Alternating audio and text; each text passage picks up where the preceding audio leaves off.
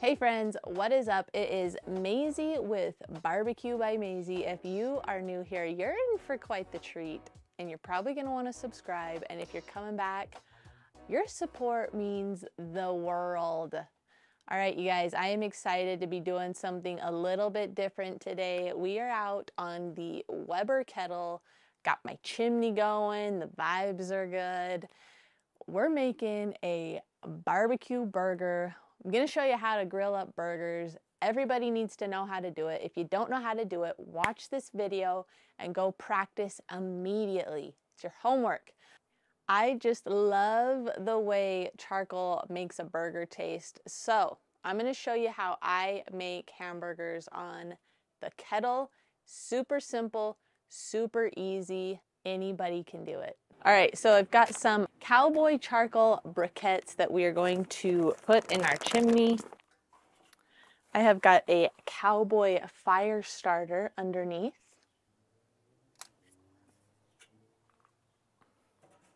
Like yeah.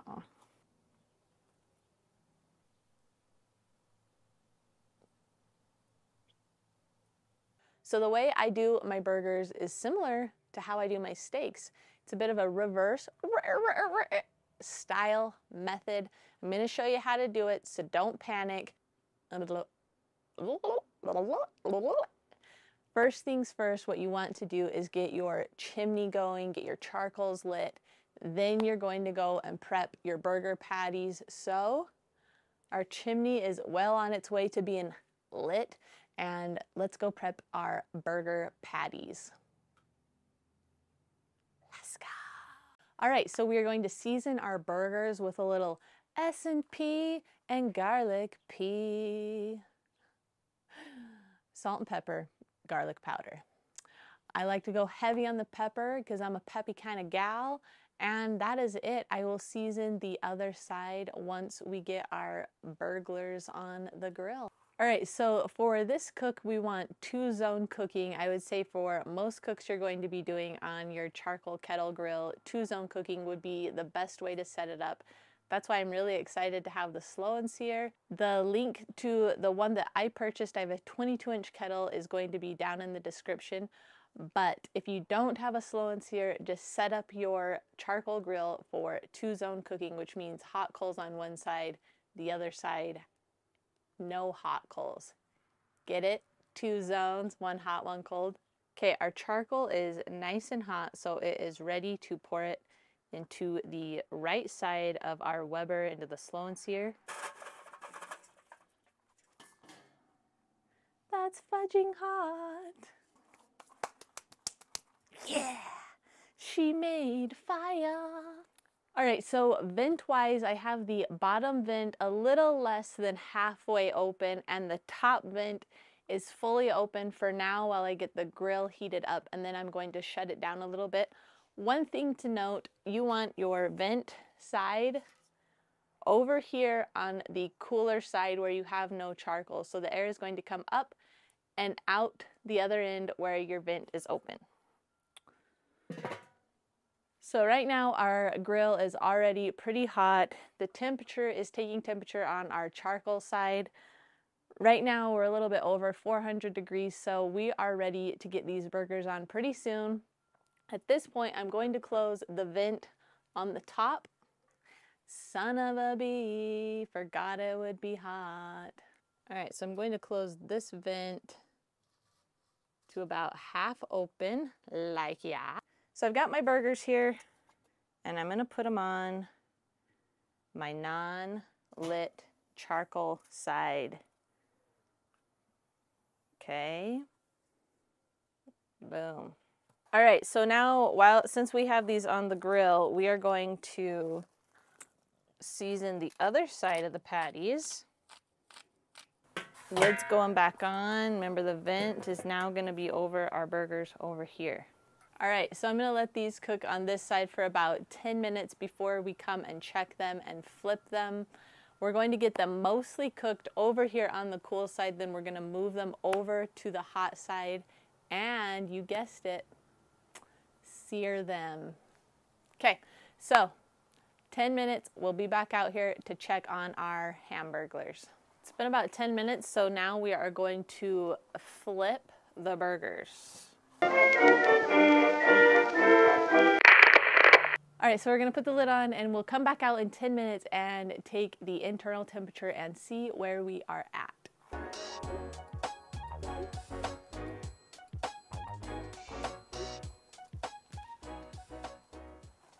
So after we flip our burgers, we're going to add our cheese. Two slices of cheese for good measure. Top back on. All right, so I let these go for about 15 minutes after I put the cheese on. Now we're going to move them over to our hot side of the grill to finish off. That bottom is gonna get a nice charcoal crust on it. With this part, you just want to be careful about flare-ups. You don't want to completely burn your burgers.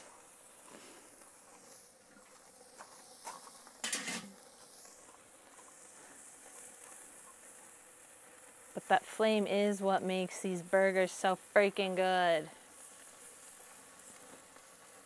So these were getting a little too kissed with the flame, so I just moved them just outside. They're still in the hotter part of the grill just to finish them off. So now I've just thrown my buns on with a little bit of butter. We're gonna get these all off the grill and assembled. All right, so we are just about done with these burgers, but don't leave just yet. You're gonna wanna see me assemble these burgers because it's gonna be good. We're making a little barbecue style burger. So don't you dare leave yet, okay? Just stick with me. You have made it this far.